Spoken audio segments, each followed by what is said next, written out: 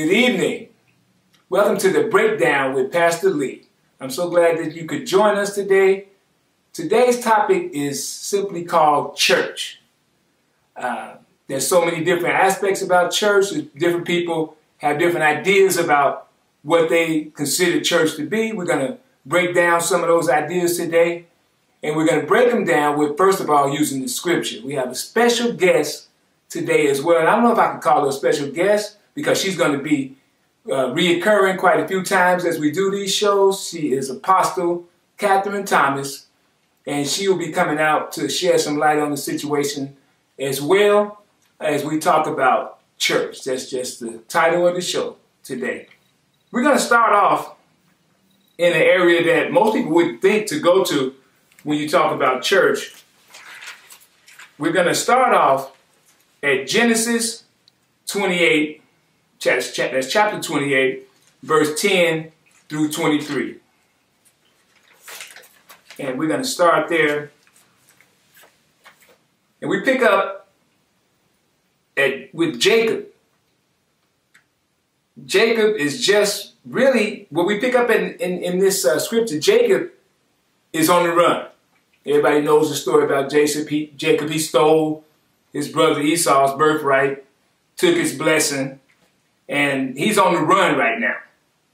And so that's just a little background what we're going to pick up at. Jacob left Beth Beersheba and set out for Haran. When he reached a certain place, he stopped for the night because the sun had set. Taking one of the stones there, he put it under his head and lay down to sleep. He had a dream in which he saw a stairway resting on the earth, with its top reaching to heaven. And the angels of God were ascending and descending on it. There above it stood the Lord. And he said, I am the Lord, the God of your father Abraham and the God of Isaac. I will give you and your descendants the land on which you are lying. Your descendants will be like the dust of the earth, and you will spread out to the west and to the east, to the north and to the south. All peoples on earth will be blessed through you and your offspring. I am with you, and you will watch and and and you, you and will watch over you wherever you go. And I will bring you back to this land. I will not leave you until I have done what I have promised you. When Jacob awoke from his sleep, he thought, Surely the Lord is in this place. And I was not aware of it. He was afraid and said, How awesome is this place! This is none other than the house of God. This is the gate of heaven. Early the next morning, Jacob took the stone he had placed under his head and set it up as a pillar and poured oil on top of it. He called the place Bethel, though the city used to be called Luz. Then Jacob made a vow saying, If God will be with me and will watch over me on this journey I am taking, and will give me food to eat and clothes to wear, so that I return safely to my father's household, then the Lord will be my God. And this stone that I have set up as a pillar will be God's house. And of all that you give me, I will give you a tenth. Now, now on first glance, if you don't really pay attention, uh, you could you could actually lose fact of the fact that Jacob is talking about church. Let's go back in the scripture. We're going to break this down as much as we can because this is the first really mention of an organized church.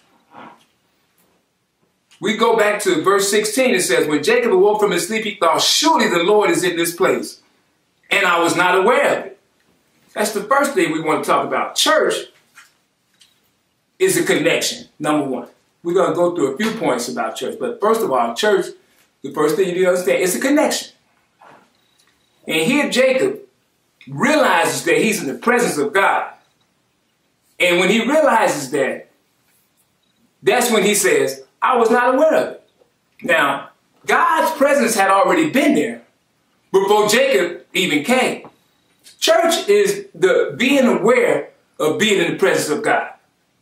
You have, if you go to church and you sit there the whole day and you have a good time with the choir and you have a good time with with, with worship and everything else, but you don't experience the presence of God, then you never went. You didn't go to church. It's not that God is not there. It's you being able to experience the presence of God. That's what's important. You have to make sure that your spirit is in the right place to be able to do that.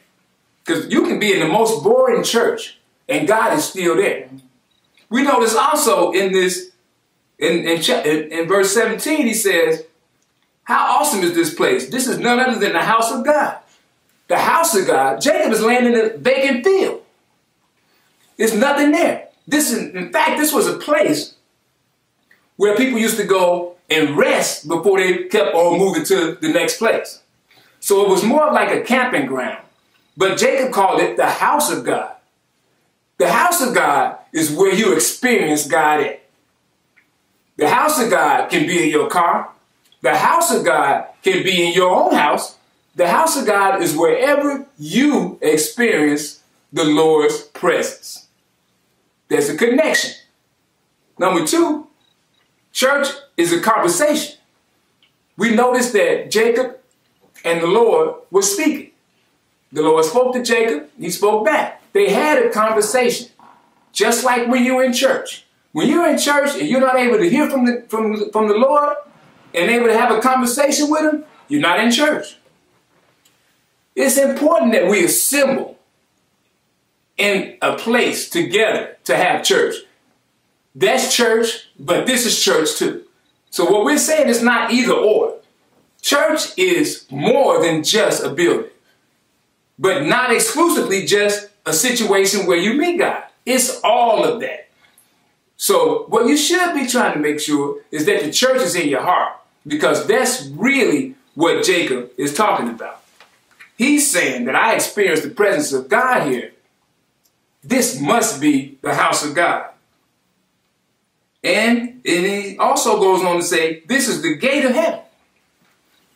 In his dream, he talked about the angels going up and down the ladder, up and down, ascending up and coming down, bringing blessings up, bringing blessings down, going up, coming back down to earth. That's a connection there.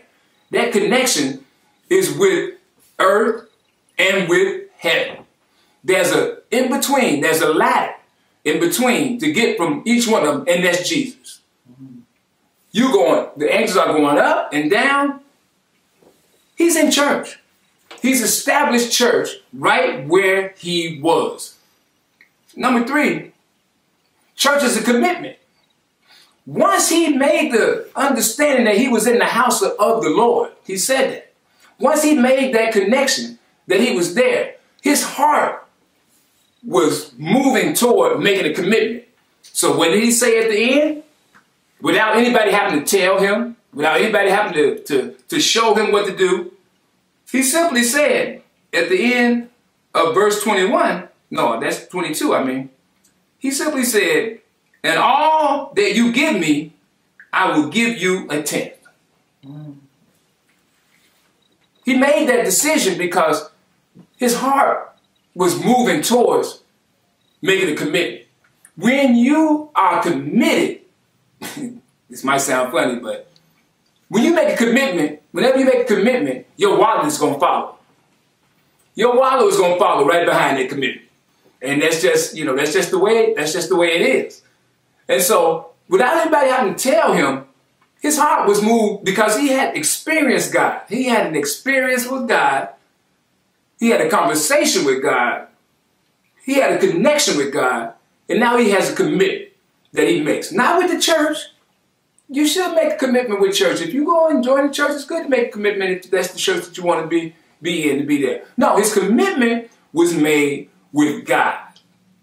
And he was led that way because of the moving in his heart. So, what we want to understand is church is in here Church can be out there. Church can be in the building. But the main thing is to understand that church is where God's presence is. And so I'm going to bring on our special guest today. And her name is Apostle Kathern Thomas. And she's going to shed some light on church as well. So we covered a few different angles. I'm going to bring her out right now, Apostle Kathern Thomas. Well, we welcome you to the show, Apostle Thomas. We're so glad to have you. Uh, as you know, we've been talking about church. We've been talking about different aspects of church, what church is, what church is not. And I wanted to have you on as our first guest in the breakdown because I know for a fact that you've been a pastor of a church for quite some time. And uh, you'll be able to bring some points out about what's going on with church right now. Church is different now than what it used to be. And you being a pastor as long as you as, as long as you have been, I'm sure you have some some different uh, insight that you would like to share with us with your experience of the new uh, church as it is now, as we should say. Okay. First of all, I want to thank you for having me on the program as a guest. Yes. And um, yes, I do have some insight. You know, I've been pastoring for 15 years now. I'm senior pastor of Worshipers Interceding for Excellence Church. Mm-hmm. And um, one of the things that I've noticed is that when the pan during the pandemic, Mm-hmm. I have not been able to bring the sheep, keep the sheep together in in the church Mhm. on the inside of the church. Right. So I'm glad we're talking about church today because we have been able to come out of the building Mhm. and now we're on uh, ministry, Zoom ministry. Right. And as a shepherd, you know, you, you just want to see the sheep together. Right.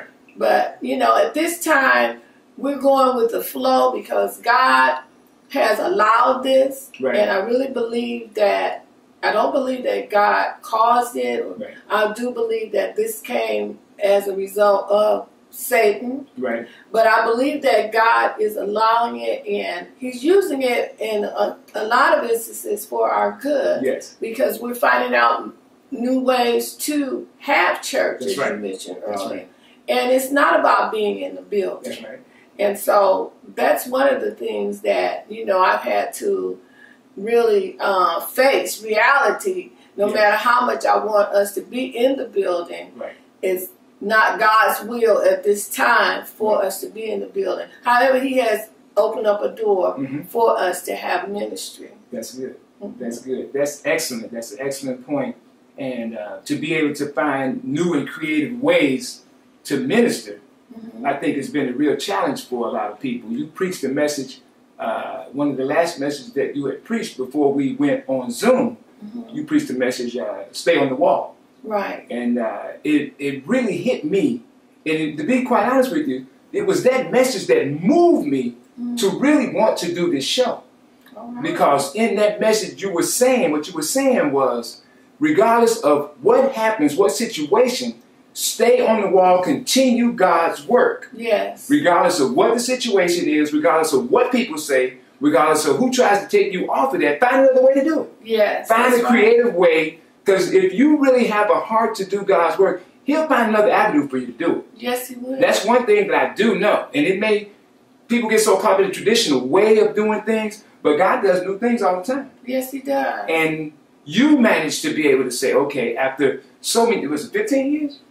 15 years. After 15 years of doing church that way, you managed to be able to say, okay, I'm hearing God moving me to do a ministry a different way. Yes. And with the Zoom uh, uh, ministry that you that I have had the pleasure of being a part of, being because I'm a part of the church, hmm uh, we it's been very effective. Yeah. I had an opportunity to have church with my grandmother in Chicago. All Who would have thought that? Right. You know, and that's so. I mean, it's ways, and if you really think outside the box, it's pluses to this type of way. It's just a matter of you hearing God and what He's leading you to do. Right. Right. Because it's, as you said earlier, it's about being in the presence of God. Right. And of course, God's presence can be on Zoom, internet, Mhm. uh, YouTube, That's right. Facebook. You know, Mhm. God's presence can be anywhere. That's First of all, His presence has to be in you. That's right. Okay, when you have the presence wherever you go, Mhm. you're bringing Him there. That's right.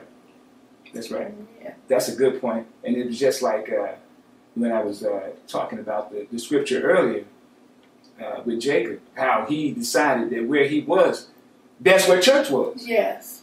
And it's because he recognized that God was there. And that was just that was a profound uh, scripture because when I first really started studying it, uh, it jumped out at me as, as being part of church. And we just have to be, be able to keep our minds open for what God is doing. He's always doing something new. He's always guiding us. The thing is to be able to hear his voice. What does he have for you to do now? What is it that, that he wants you to do? Because it, you can minister in any kind of way. That's right. That's right. And I like how that was a very good uh, uh, story and the scripture that you used earlier about Jacob because, you know, a lot of times we just consider church beginning in the New Testament. Right.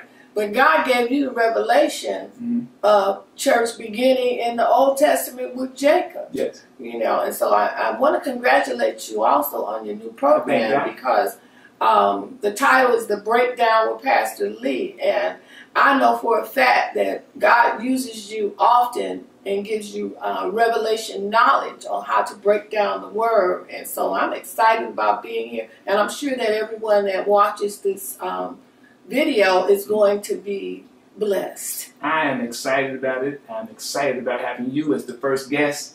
I wouldn't have had it any other way. And uh, especially for the topic that we, we have today when we're talking about church, it was just fitting to have someone who's been there, who's done that, and, and experienced that. Because there's people out there that are saying, hey, you know, the doors of the church are not open. What, what can I do now?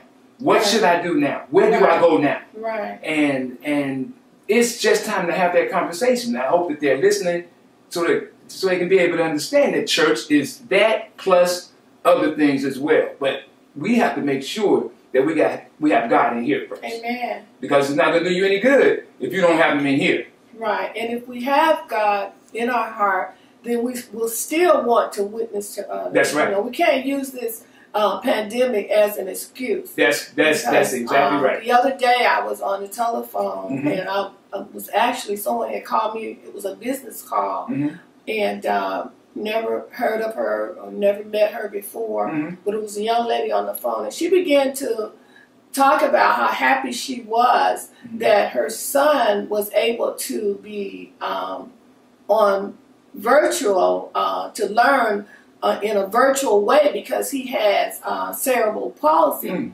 And so she wasn't sure that he was going to be able to comprehend Right. because he has always been, you know, physically in the classroom. Mhm. But she was excited because it was his first time Mhm. and he was able to comprehend. And so she shared that with me. Right. But the thing that I heard was cerebral palsy. Mhm. And so I said, you know, I said, what is your son's name? And she told me her son's name.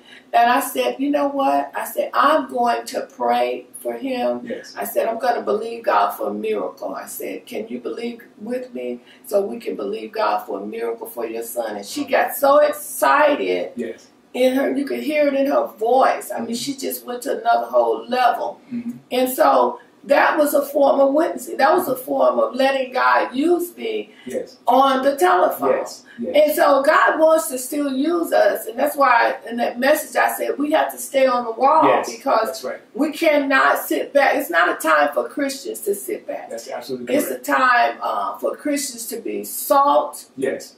and light. That's right. This is our opportunity. Yes, that's that's perfect. You you hit, you just touched on the point where you're saying it's not a time for Christians to sit, to sit back.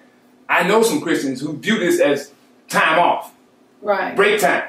You know, you talk to them, well, my church is not not open right now, so I can't. You know, there's nothing I can do. I'm kind of mo- no. It's not break time. It's not No, time out. not. You know, it's, it's not No, it's not. any of those things. It's time for you to get in a quiet place and listen to where God is directing you now. Right. What does He want you to do now? If the brook dries up over here, Right. doesn't mean that he doesn't want you to go over here. All right. Now. So that's that's that's what time it is. Like you just said, it's not a time out.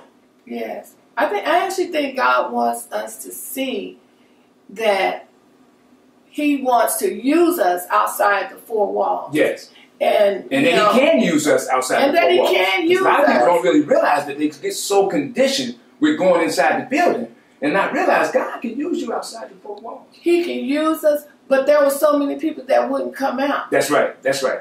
You know, it was like God has been. It's just like Mhm. you know now. You know they're telling us to wear the mask Mhm. because of the pandemic, and You know, a lot of people just won't wear the mask. That's right. It's the same way spiritually. Same God's been telling us, you know, it, it's in His Word. Yes. You know that we are to witness, but at the same time, there are only a handful of Christians in the kingdom of God. Mhm. If you look at it, it's just I would say a handful in the Mhm. entire kingdom Right. That will really come out That's right. and, and really go up to people or really just talk to people about God. That's right. It's like we we're so we're in a place where we're concerned about how we're going to look, Mm. and we're more concerned about ourselves than we are about um, leading people to Christ. That's right. And people are more and more people are on their, their way to hell Mhm. because no one has even shared Christ with them. That's powerful. And so I think during this pandemic, God is saying, well, you wouldn't come out Right. you wouldn't come to church anyway. So I've shut, I've allowed the church to be Right. shut down, right. and now you're gonna have to be out. That's right. And it's just like the scripture said, all things work together for good. Amen. Romans eight twenty eight. And in this particular situation, just like you said, and I think it's an important point that you bring up where you say that God allowed this situation to happen. Yeah. Because you hear people who don't know any better saying God caused the situation like this. That's an important point. I'm glad we touched on it. Because He didn't cause it. What God does and has done throughout the Bible and has done throughout time is He allows a situation, reaches into that situation, and gets the glory out of it. Yes. He's been doing that from the beginning. Of, I mean, from the beginning of time. You go through the Bible; it's always been done that way. This situation is no different. It happened. He allowed it to happen, but He will get the glory out of it. And like you said, the, another point you just uh, brought up is that they wouldn't uh, come out. You wouldn't come out of the four walls. People got so conditioned and so comfortable inside of their little four wall church, Yes, yes. where they didn't want to bring the word out. Right. You used the phrase before that, like you said, us four, no more. Right. They were satisfied with just people that were inside the church doing what they were doing and wouldn't come out and spread the word. So Right. now, okay, I allow the doors to be closed. It's not break time. It's time to share the words with those who may not other, otherwise come inside the church. You take church to them. Right.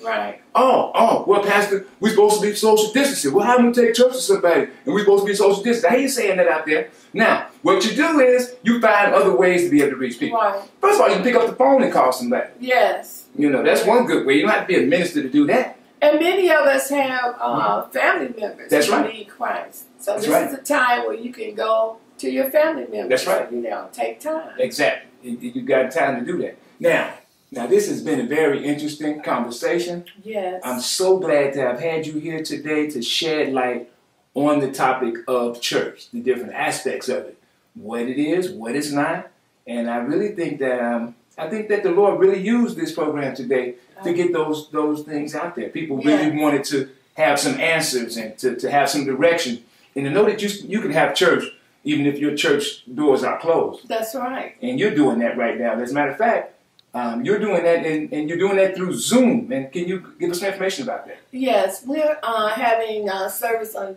through Zoom Ministry every Sunday at three o'clock. Mhm. And um, for the viewers, you can go to worshipersinterceding.com.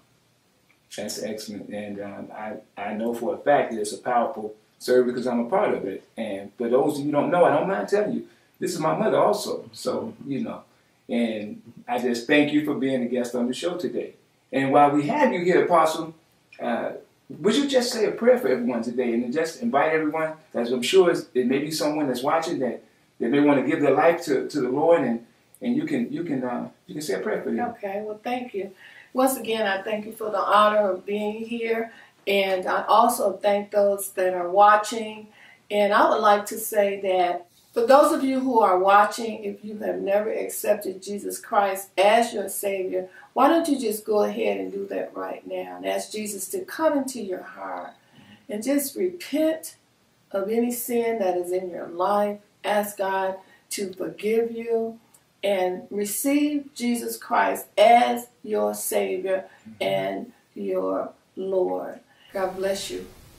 I want to thank you all for tuning in to the breakdown with Pastor Lee and tune in next time. And before then, be safe and may God bless you.